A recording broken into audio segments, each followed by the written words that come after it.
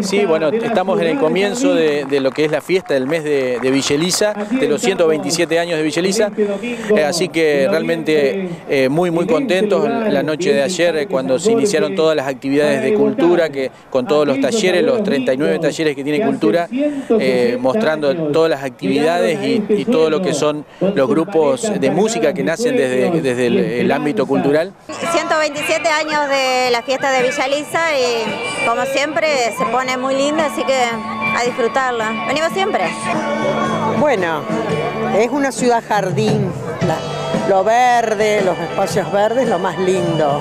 que ayudan a eso, ¿no? A que tanto los, los entrerrianos fundamentalmente, la gente de Paysandú, eh, Río Negro, Salto, tengan un poco más de frecuencia en, la zona. Es un poco eso, ojalá que, que el mensaje sea comprendido. La conexión para distintos intercambios entre estas dos vecinas ciudades. Centro de Rivalsaga hace entrega al autor de la bandera de la ciudad.